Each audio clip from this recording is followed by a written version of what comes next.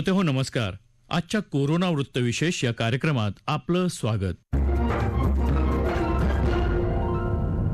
आजच्या कोरोना वृत्तविशेषमध्ये आपण ऐकणार आहोत राज्यभरात कोरोना प्रतिबंधक नियमावली शिथिल करण्यात आल्यानं आता महिला वर्गालाही कार्यालयीन कामं तसंच इतर कारणांसाठी घराबाहेर पडावं लागणार आहे. या काळात महिलांना तसंच कुटुंबातल्या सदस्यांना संसर्गाचा वाढलेला धोका कोरोनाचा संसर्ग होऊ नये म्हणून आरोग्याच्या दृष्टिकोनातून सामान्य महिलांसह गर्भवती महिलांनी घ्यायची काळजी या अनुषंगानं केलेली चर्चा. श्रोते हो पावणे दोन वर्षांपासून संपूर्ण जगात हाहाकार माजवणारं कोरोनारूपी संकट आता कुठं मावळू लागल्याचं दिसून येत आहे. भारतात देखील कोरोनाचे रुग्ण कमी झाले असून महाराष्ट्रातलं चित्रही वेगळं नाहीये. केंद्र आणि राज्य सरकारच्या वतीनं राबवण्यात आलेल्या विविध कोरोना प्रतिबंधक उपाययोजनांमुळे कोरोना स्थितीवर नियंत्रण मिळवण्यात यश मिळालंय असंच म्हणता येईल. ब्रेक द चेन अंतर्गत राज्यातले कोरोना रोखण्यासाठीचे निर्बंध गेल्या पंधरा ऑगस्टपासून राज्य सरकारतर्फे शिथिल करण्यात आले आहेत. त्यामुळे राज्यभरातलं जनजीवन पूर्ववत होत चाललंय. नियमातल्या या नवीन शिथिलतेमुळे राज्यातली दुकानं शॉपिंग मॉल उपहारगृह रात्री दहा वाजेपर्यंत सुरू ठेवायला परवानगी मिळाली आहे. खाजगी कार्यालयांनाही वेळेचं व्यवस्थापन करण्यासाठी कार्यालयं चोवीस तास सुरू ठेवण्याची मुभा देण्यात आली आहे. त्यामुळे इतक्या दिवस वर्क फ्रॉम होम करणाऱ्या महिला देखील कार्यालयीन कामं तसंच इतर कारणांच्या निमित्तानं घराबाहेर पडू लागल्या आहेत. मात्र कोरोनाचा धोका अद्याप टळलेला नसल्यानं या काळात विशेषतः महिलांना आणि कुटुंबातल्या सदस्यांना संसर्ग होण्याचा धोकाही वाढला आहे. बदललेल्या परिस्थितीनुसार आता या कोरोनाच्या धोक्याचं स्वरूप नक्की कसं असेल याविषयी अधिक माहिती देत आहेत प्रसूती आणि स्त्रीरोग तज्ज्ञ डॉक्टर गायत्री देशपांडे. सध्या महाराष्ट्र सरकारने कोरोना आणि पॅन्डेमिकच्या लढ्यासाठी जे आधी निर्बंध घातले होते ते काहीशा प्रमाणात सैल केलेत. बसचा ट्रॅव्हल रिक्षाचा ट्रॅव्हल तसंच अनेक दुकानं रेस्टॉरंट काही ना काही प्रमाणात उघडी आहेत. सगळी फंक्शनालयात पूर्ववत कामं सुरू झाली आहेत. या पार्श्वभूमीवर एक त्रिरोग तज्ज्ञ किंवा एक लेडी स्पेशालिस्ट डॉक्टर म्हणून मी तुम्हाला काही गोष्टी सांगू इच्छिते. पर्टिक्युलरली स्त्रियांच्या आरोग्याच्या बाबतीमध्ये. कारण वेगळ्या वेगळ्या प्रकार प्रकारच्या कामासाठी म्हणजे घरातल्या कामांसाठी किंवा बँकेतल्या कॉर्पोरेट वस्तू जिथे ते लोक जॉब करतात किंवा टीचर्स आहेत. अनेक ठिकाणी त्यांना आता आपापल्या कामाला जावं लागणार आहे. आणि जात असताना बहुतेक वेळा पब्लिक ट्रान्सपोर्टचा त्यांना वापर करावा लागतो. तर तो एक महत्त्वाचा मुद्दा लक्षात ठेवायला पाहिजे की जरी निर्बंध सैल झालेले असले तरी अशा स्त्रियांना संसर्ग होण्याचा धोका प्रचंड प्रमाणात वाढू शकतो. कारण तुम्ही ज्या लोकलने प्रवास करता ज्या डब्यांमध्ये करता ज्या बसमध्ये करतात त्यावेळेला प्रत्येक जण व्यवस्थित तुम्हाला मास्क घालून सोशल डिस्टन्सिंग पाळून व्यवस्थित अंतर राखून बोलणं किंवा शिंक खोकला असं झाल्यानंतर पूर्णपणे कव्हर करणं तोंडाला आणि नाकाला असं अनेक वेळा दिसत नाही. त्यामुळे अशा स्त्रियांनी घराबाहेर पडताना स्वतःची काळजी नीट घ्या. आणि या गोष्टींमध्ये तुम्हाला तो संसर्ग होऊ शकतो या गोष्टीचं भान ठेवा. तसंच अशा अनेक स्त्रिया आहेत की ज्या वेगळ्या वेगळ्या परिसरात राहतात आणि आपल्या घरकामामध्ये मदत करायला आपापल्या घरी येतात. मग ती धुणं भांडी असो स्वयंपाक करणाऱ्या बाई असो किंवा इतर लहान मुलांना काळजी घेणाऱ्या असो तर हे कंपल्सरी आहे कारण आता आपल्यालाही त्यांची गरज आहे. त्यांना पण एम्प्लॉयमेंट नसल्यामुळे त्यांचं पण नुकसान होत आहे त्यामुळे त्या परत यायला बघतायत. हे एकदम रास्त आहे. पण या पार्श्वभूमीवर या लोकांकडनं व्यवस्थित त्यांना सॅनिटाईज करायला हवं. त्यांनी मास्क घालूनच काम करायला हवं. त्या जिथे कुठे टच करतील किंवा काय करतील बाहेरून आल्यानंतर त्यांचे स्वच्छ हातपाय धुणं सॅनिटाईज केल्यानंतर त्यांना घरात प्रवेश करणं. या सगळ्या गोष्टींची दक्षता घेणं खूप गरजेचं आहे. श्रोते हो कोरोना संसर्गाचा संकट अद्याप कायम असल्यानं या काळात गर्भवती महिलांनी विशेष काळजी घेणं आवश्यक बनलं आहे. तज्ज्ञांच्या म्हणण्यानुसार काही विषाणूजन्य संक्रमणाचं गंभीर दुष्परिणाम गर्भवती महिलांवर होत आहेत. त्यामुळे कोरोना संसर्गाचा सर्वाधिक धोका हा गर्भवती महिलांना असतो. त्यामुळे गरोदर महिलांनी आवश्यक खबरदारी घेत शासनाकडून दिल्या जाणाऱ्या वैद्यकीय सूचनांचं पालन करणं गरजेचं आहे. सध्या सर्वत्र कोरोनाचे निर्बंध शिथिल केले असले तरी कोरोनाचा धोका पूर्णपणे टळलेला नाही. त्यामुळे अशा महिलांनी कोरोना विषाणूची लागण झाल्याची लक्षणं दिसून येत असलेल्या व्यक्तींशी संपर्क टाळणं शक्यतो बाहेर न जाता घरातच थांबायला प्राधान्य देणं हे गरजेचं आहे. हात नियमित स्वच्छ धुणं आणि फोन किंवा ऑनलाईन माध्यमातून डॉक्टरांशी संपर्क साधणं या गोष्टी करायलाच हव्यात. सध्या गर्भवती महिलांना कोरोना संसर्गाचा धोका सर्वाधिक आहे. एकूणच गरोदर महिलांना असलेला संसर्गाचा धोका त्याचं स्वरूप आणि घरी तसंच रुग्णालयात त्यांनी काय काळजी घ्यायला हवी याविषयी अधिक माहिती देत आहेत प्रसूती आणि स्त्रीरोग तज्ज्ञ डॉक्टर विजय अहिरराव. तर आपल्याला सरकारने निर्बंध शिथिल केले म्हणजे काय? तर सरकारने आपल्याला थोडीशी सूट दिलेली आहे. थोडीशी मोकळीक दिलेली आहे. पण आपल्या एक आता लक्षात येतंय की आपण शाळकरी मुलांसारखे वागतोय. शाळा सुटल्याची घंटा झाल्यानंतर जशी मुलं थेट उड्या मारायला लागतात कारण शाळेचे निर्बंध संपतात घंटा वाजली की आणि मग उड्या मारणे मस्ती करणे सुरू होतं. सिमिलर टाईप ऑफ बिहेवियर आपण आपल्या अडल्ट्समध्ये मोठ्या माणसांमध्ये बघायला लागलेलो आहे. निर्बंध कमी झाले याचा अर्थ करोना संपला असं आपण घेतलेला आहे जो पूर्णतः चुकीचा आहे. करोना आहे नक्कीच आहे कुठल्या तरी कोपऱ्यात तो लपून बसलेला आहे. आणि तुम्ही फक्त असं सगळे निर्बंध सोडल्यानंतर जे मोकळे सुटलेले आहात त्याची तो वाट पाहतोय. त्यामुळे मला असं सांगायचं आहे की सर्व लोकांनी काळजी ही कंटिन्यू केली पाहिजे. त्यातल्या त्यात गरोदर स्त्रियांनी. गरोदर स्त्रिया आम्ही इम्युनो कॉम्प्रोमाइज असतात असं आमचं म्हणणं आहे. इम्युनो कॉम्प्रोमाइज म्हणजे त्यांची प्रतिकार शक्ती थोडीशी कॉम्प्रोमाइज असते कमी झालेली असते. तर यांना कोणताही आजार होण्याची शक्यता ही थोडीशी बाकीच्या लोकांपेक्षा जास्त असते. तसंच ह्या आजाराबद्दल सुद्धा सेम आहे. त्यामुळे गरोदर स्त्रियांनी तर काळजी घेतलीच पाहिजे. एक्स्ट्रा काळजी घेतली पाहिजे. गर्दीच्या ठिकाणी जाऊ नये. फेस मास्क शिवाय घरातून बाहेर पडू नये. आणि वारंवार हात धुवावेत. ह्या गोष्टी ही त्रिसूत्री तर आहे शंभर टक्के तशीच आहे. त्यातल्या त्यात गरोदर स्त्रियांनी ही जास्त काळजी घेतली पाहिजे. काम नसताना बाहेर जाऊ नका.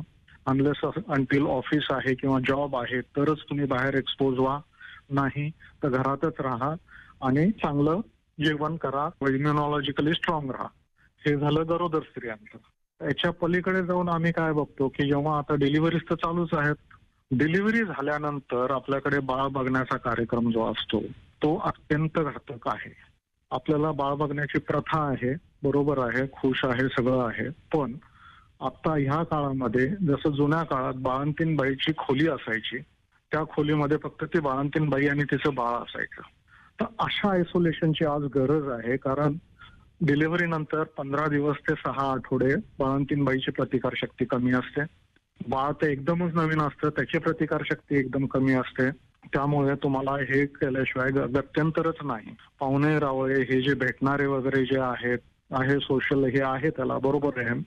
पण ह्या सगळ्या गोष्टी आपण लांबवू शकतो जाणीवपूर्वक लांबवू शकतो आणि त्या लांबवण्याचा प्रयत्न हा केलाच पाहिजे. तरच बाळ आणि बाळांतीन दोघेही सुरक्षित राहतील. कोणत्या गर्भवती महिलांनी व्हॅक्सिन घ्यावं? सगळ्यांनीच घ्यावं का? काहींनीच घ्यावं. ते आता त्या महिलेने ठरवायचंय त्या पेशंटनेच वैयक्तिक ठरवायचंय की आपल्याला कोविड होण्याचा धोका किती आहे? आणि जेवढा जास्त धोका असेल कोविड होण्याचा तेवढं व्हॅक्सिन घेणं जास्त सुरक्षित आहे. मग आता गर्भवती महिलांना कोविड होण्याचा धोका किती आहे? तर बाकीच्या लोकांना जेवढा धोका आहे तेवढाच गर्भवती महिलेला पण धोका आहे. म्हणजे जनरल पॉप्युलेशन आणि प्रेग्नंट वुमन त्या दोघांना कोविड होण्याची शक्यता तेवढीच आहे. साधारणपणे दुसरी गोष्ट अशी आहे की गर्भवती महिलांना कोविड झाल्यानंतर तो जास्त घातक आहे का? तर ते पण नाही. जसं बाकीच्या लोकांना आहे कोविडचा धोका तेवढंच महिलांना पण आहे त्यांना पण तो तितकाच घातक आहे. याचा अर्थ काय होतो की साधारण पंच्याण्णव टक्के गर्भवती महिलांना कोविड झाल्यानंतर काहीही करायची गरज नाही. होम आयसोलेशनमध्ये राहणे गोळ्या औषधं घेणे. पण पाच टक्के महिला ज्या आहेत त्यांना ऍडमिट करण्याची गरज येते जसे जनरल पॉप्युलेशनमध्ये पाच टक्के लोकांना ऍडमिट करावं लागतं. म्हणजे तुम्हाला ऍडमिट करायला लागण्याची शक्यता जास्त आहे? कोणत्या लोकांमध्ये कोविड जास्त घातक राहील कोणत्या गर्भवती महिलांमध्ये कोविड जास्त घातक राहील तर त्याचे क्रायटेरिया असे आहेत की ज्या कोणत्या प्रेग्नंट लेडी पस्तीस वर्षापेक्षा जास्त वय ज्यांचं असल्या त्यांना धोका जास्त आहे. ज्यांना डायबेटीस सारखा आजार असेल गर्भधारणेमध्ये त्यांना तो धोका जास्त आहे. ज्यांना ब्लड प्रेशर जास्त वाढलेलं असेल त्यांना तो धोका जास्त आहे. तर ह्या लोकांना जर कोविड झाला तर यांना ऍडमिट करण्याची वेळ येण्याची शक्यता जास्त आहे. So these are called high risk cases दुसरी गोष्ट अजून कुणाला धोका आहे कोविड होण्याचा? जसं आपण जनरल पॉप्युलेशनला म्हणतो ज्यांना फ्रंटलाईन वर्कर्स जे आहेत डॉक्टर्स आहेत नर्सेस आहेत आयाबाई आहेत हॉस्पिटलचा बाकीचा स्टाफ आहे किंवा ज्यांना बाहेर कामाला जावं लागतं. रोज पाच पन्नास लोकांना तोंड द्यावं लागतं. ह्या लोकांचं एक्सपोजर जो आहे तो जास्त आहे. आणि ह्या लोकांना ज्यांना आपण फ्रंटलाईन वर्कर्स म्हणू या होण्याची शक्यता जास्त आहे. तर ह्या बायका जर प्रेग्नंट असतील ह्यावर प्रेग्नंट लेडीज जर हे काम करत असतील तर त्यांना कोविड होण्याचा धोका जास्त आहे. आता दोन क्रायटेरिया झाले पस्तीस वर्ष डायबिटीस हायपरटेन्शन आणि दुसरं सोशल एक्सपोजर ह्या लोकांना धोका जास्त आहे. त्याच्यामुळे यांनी कोविडची लस घेणं फार चांगलं आहे. श्रोते हो कोरोनाच्या पार्श्वभूमीवर लावण्यात आलेले राज्यातले निर्बंध शिथिल करण्यात आले असले तरी मुख्यमंत्री उद्धव ठाकरे यांनी नागरिकांना कोरोना प्रतिबंधात्मक नियमावलीचं पालन करण्याचं आवाहन केलं आहे. प्रत्येक नागरिकानं घराबाहेर पडल्यानंतर सुरक्षित अंतराचं पालन करावं असं सांगत कोरोनाचं संकट अद्याप कायम असल्याचं राज्यात पुन्हा एकदा टाळेबंदी लागण्याची शक्यतेचा इशारा त्यांनी दिला आहे. सध्या राज्यभरातले कोरोनाचे निर्बंध शिथिल करण्यात आल्यानं नागरिक कामानिमित्त घराबाहेर पडू लागले आहेत. यात महिलांची संख्याही मोठी आहे. या काळात आरोग्याच्या दृष्टीनं महिलांनी घ्यायची काळजी कोरोनाचा संसर्ग होऊ नये तसंच महिलांमधली रोगप्रतिकारशक्ती वाढावी आणि कोरोना संसर्ग झालाच तर त्यानंतर करावयाच्या उपाययोजना याविषयी मार्गदर्शन करत आहेत प्रसूती आणि स्त्रीरोगतज्ञ डॉक्टर गायत्री देशपांडे.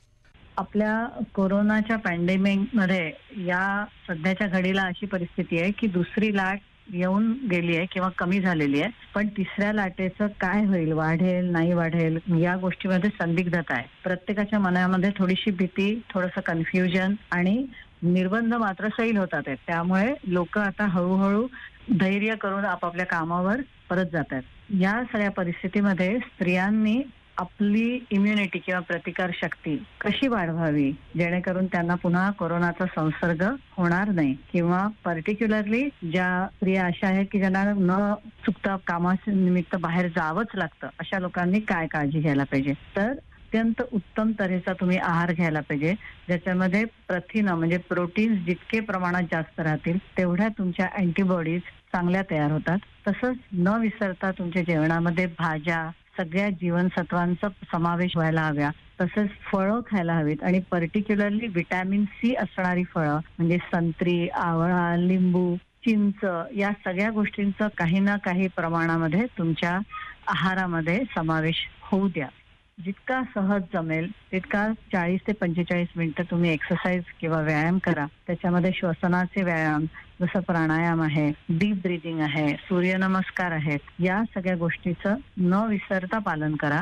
त्यामुळे तुमची आपोआपच इम्युनिटी वाढेल. तुम्ही सहज रोगाला प्रतिकार करू शकता. यामध्ये ज्या भगिनी प्रेग्नंट आहेत त्यांना मी जास्त प्रकारे सूचना करेन की विनाकारण मॉल्समध्ये गर्दीच्या ठिकाणी कुठल्याही सण किंवा कुठल्याही फंक्शनसाठी विनाकारण बाहेर जाऊ नका बाजारात सुद्धा अनेक गोष्टी ज्या टाळता येतात एकदम आपल्याला जे ऑनलाईन करता येतं ते सगळं ऑनलाईनच मागवायचा प्रयत्न करा. जेणेकरून विनाकारण तुम्ही बाजारामधली जी गर्दी आहे त्याच्यातनं संसर्ग टाळू शकाल. आणि सर्वात महत्त्वाचा मुद्दा सध्या व्हॅक्सिनेशनचा ड्राईव्ह सहजपणे सगळीकडे सुरू आहे. त्यामुळे जितकं लवकर जमेल तितक्या लवकर जे अवेलेबल व्हॅक्सिन आहे जे कोव्हिशिल्ड असू दे नाहीतर कोव्हॅक्सिन असू दे तुम्ही जरूर ते दोन्ही डोसेस जितक्या लवकर जमेल तेवढे संपवा. श्रोतेहो कोरोनाचा प्रादुर्भाव आता कमी होत असल्यानं राज्य शासनानं राज्यभरात लागू असलेले कोरोना प्रतिबंधात्मक निर्बंध शिथिल केले आहेत. मात्र तरीही कोरोनाच्या त्रिसूत्रीचं पालन करणं हे आजही गरजेचं आहे. श्रोतेहो आपला कोरोना वृत्तविशेष हा कार्यक्रम आपण news on A I R या ॲपवरही लाईव्ह ऐकू शकता. यासोबतच आमच्या मुंबई एअर न्यूज या यूट्यूब वाहिनीवर या कार्यक्रमाचं ध्वनिमुद्रण आपल्याला कधीही ऐकता येईल. याबरोबरच आजचा कोरोना वृत्तविशेष हा कार्यक्रम संपला. हा कार्यक्रम आकाशवाणी मुंबईच्या प्रादेशिक वृत्त विभागानं सादर केला. सादरकर्त्या सरस्वती कुवळेकर. निर्मिती सहाय्य विवेक वानखडे. लेखन आणि समन्वय मनीष कुलकर्णी आणि सागरिका कांबळे. आणि निवेदन शैलेश मोहिते.